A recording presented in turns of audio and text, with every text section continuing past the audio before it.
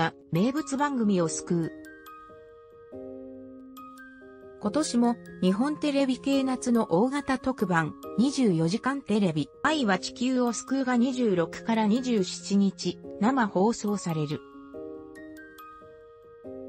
フリーアナウンサーの有働由美子54が初めてチャリティーパーソナリティに起用された背景には、ジャニーズ事務所の子ジャニー北川前社長による性加害問題をめぐる切実な事情があったという。今年の24時間テレビでは、ジャニーズの何わ男子がメインパーソナリティ、有働がチャリティーパーソナリティをそれぞれ初めて務める。チャリティーパーソナリティには他に、芦田愛菜と小泉孝太郎が名を連ねた。総合司会は、フリーアナの羽鳥慎一と、同局の三浦麻美アナのコンビだ。このラインアップでは有働の起用がポイントだった。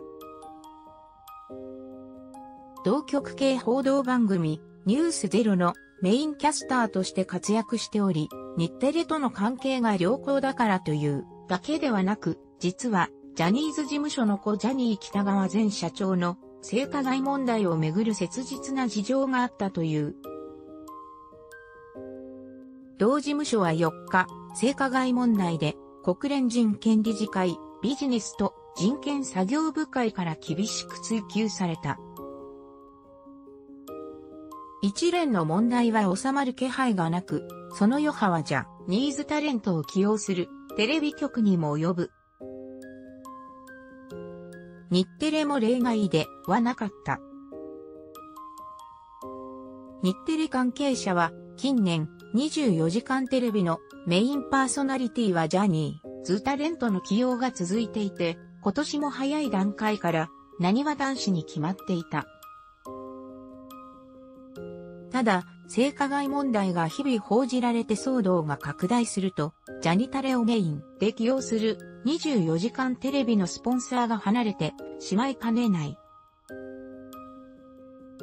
それもあって、かねて良好な関係を築いている有働さんにしろ、羽の矢を立てたというのが、本当のところのようです。有働さんは、日テレが懇意にしているスポンサーからの受けが良いですからねと語る。有働は NHK アナ時代 NHK 紅白歌合戦の総合司会を担当。2018年3月いっぱいで同局を退職し、フリーに転じた。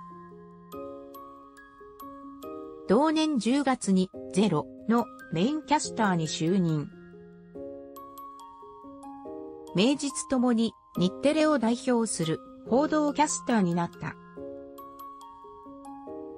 紅白歌合戦の総合司会の実績などは年配層からの受けが良く、例年以上に幅広い視聴者を取り込めると期待されています。前出関係者有働は2日配信の女性自身でゼロの1本あたりのギャラは100万円ほどの VIP 待遇で他のバラエティや特番への出演も加味すると年収は2億円と報じられた。